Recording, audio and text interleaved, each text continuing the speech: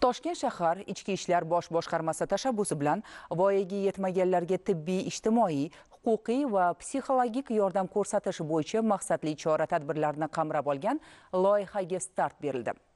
Uning doirasida 500 dan ortiq oilalar o'rganildi.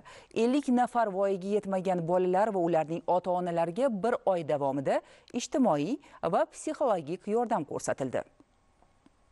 Toshkent shahar ichki ishlar bosh boshqarmasi tashabbusi bilan tashkil etilgan loyihada 500 dan ortiq oilalar o'rganilib undan 50 nafar voyaga yetmagan bolalar va ularning ota onalariga bir oy davomida tibbiy ijtimoiy huquqiy pedagogik va psixologik yordam ko'rsatildi.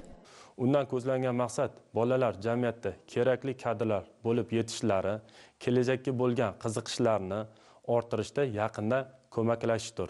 Bu tashkil etilgan maxsus kurs o'z samarasini berdi va kelgusida davomiy bo'ladi.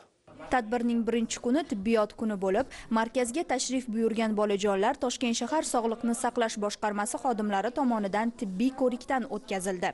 Keyingi bosqichda bolajonlar psixologlar nazoratidan o'tishdi. Bu jarayonga voyaga yetmaganlarning ota onalari ham jalb etildi.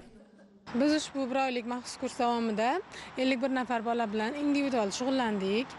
Ularni qobiliyatlarini temperamentini xarakterini aniqlab ularga nima kerakligini bilishga harakat qildik. Har biriga biriktirilgan psixolog ularni ota onasi bilan ham ishlash jarayonida farzandiga nima kerakligini farzandi bilan aloqalarini qanday mustahkamlash kerakligini ularga tushunishiga yordam berdik va vaziyatga o'zlari yechim topishiga yo'nalish ko'rsatdik. Yunusobod tumani barkamol avlod hamda madaniyat markazi bo'limi xodimlari tomonidan bolajonlar uchun bir oy davomida tasviriy san'at musiqa adabiyot she'riyat rassomchilik raqs va umuman san'atning barcha turlaridan darslar va mahorat saboqlari o'tkazildi.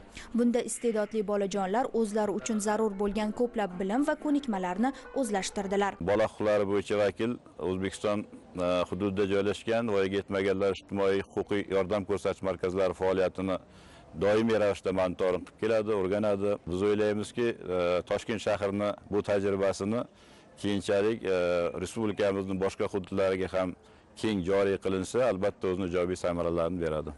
Maxsus o'quv kursi davomida nafaqat bolalar balki ularning ota onalariga ham amaliy yordam ko'rsatildi. Yakuniy marosimda mutasaddilar tomonidan sertifikat hamda sport turiga ko'ra sport kiyimlari va anjomlari taqdim etildi. Ikki nafariga tug'ilganlik haqida guvohnoma hamda ikki nafar shaxsga id pasportlari rasmiylashtirib tantanali ravishda topshirildi.